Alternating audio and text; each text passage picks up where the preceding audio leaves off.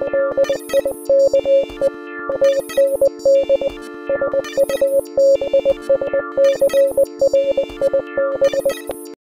yo, hey, today um, we're going to be doing a quick review on the Pine 64 uh, pretty much Pinecil soldering iron that I got for Christmas. Um, these things run for 25 bucks, um, and I got a few accessories that I'll bring into frame here in a second, but USB-C, it also has DC there. Um, this one is open source, so it's pretty cool. You can uh, go to GitHub, uh, which I haven't done it yet, but you could adjust and um, up, update or create your own firmware for this.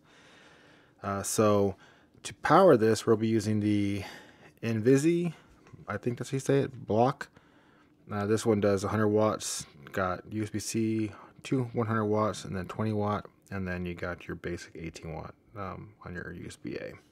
So I got this on Amazon. All these are non-affiliate links uh, that I'll be posting below. I paid full price for everything here. Um, so let's get this thing plugged in and we will get going as far as the startup of this thing. I have a, a Nope. This is a 8 foot USB-C cable. Um, so we're just gonna, well, first of all, we're going to put in our soldering tip just like such. Um, little ceramic bases, pretty cool, almost plug and play type thing going on here. And then we're just gonna kind of lightly tighten down that screw right there.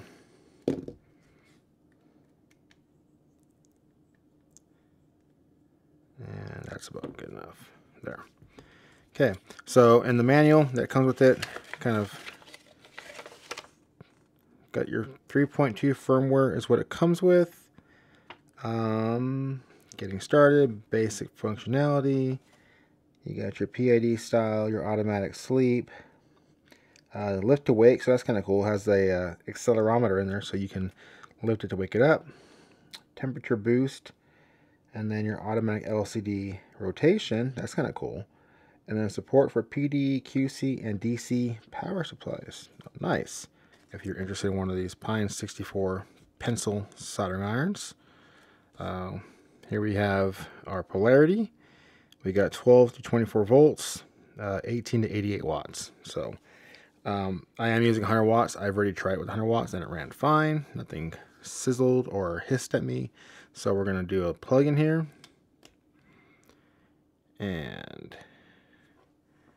we've got a few settings. Got your tip. Uh, this is 20. Got your power settings. I think it's going to be like your sleep to wake type stuff there. Soldering settings. I guess that's your temperature, obviously, maybe. Um, I'm new to all this. My original soldering iron I ever used was a Weller, just basic plug and play soldering iron. So this is my first digital uh, soldering iron. So we will learn together. Sleep mode, obviously that's going to be when you want to fall asleep. Uh, user interface advanced settings, language, and so on. So if we go to power settings, we hit plus, we got power source DC. Uh, what else we got? We got 3S uh, set cutout or cut off volts. Back to DC. That's where I had it set at originally. Uh, max QC volts. So you can set your voltage should negotiate for. Okay, all right. Max QC voltage should negotiate for. What else we got? We got PD timeout. I'm okay with 20 seconds. Soldering settings. Boost temp, 420 degrees. Start up a behavior, 0 degrees, so it's off right now. Um, yep, that's off and startup behavior zero seconds so then you can kind of set it to what you want to start to kick on at. Uh, temperature that's what that says. Temperature change increments on short button press okay. So you just tap plus and it'll quickly change those temps um, so that's pretty much what that means.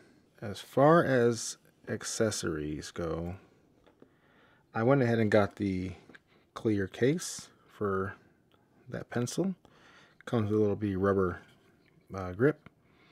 And we'll do a separate video of how to install the case. And then it comes with, with the hardware. Extra buttons, screws, and uh, I believe that's some kind of heat shield possibly. So that's what that comes with. And then I got extra tips too. I went ahead and got their fine point uh, set. They have a wide a wider version and I think they have a medium version of their tips. These tips are quite a bit longer. So if you take that, you're looking at roughly maybe an inch and a half longer than what is a stock tip. So um, this one you have kind of a needle point almost, ultra fine. The next one is going to be kind of like a blade, maybe, if that's what you would call this. Again, I'm not really familiar on the on the tip names for soldering, so bear with me, please. But maybe a blade style. And then we got another needle point. And then a, this is more of a broad, broad flat one. It's, kind of just at a slight taper. And maybe about the width of a ballpoint pen. So, so yeah, that's what I got. Um, I do more fine soldering than anything else, uh, which you can kind of see, which is, maybe this is not fine soldering compared to what some of you guys do, um, but it is fine for me, so we'll just do that. Okay, all right. We're to kick it on and go. All right. And that is it heating up super fast. You see some 298, 270, 260,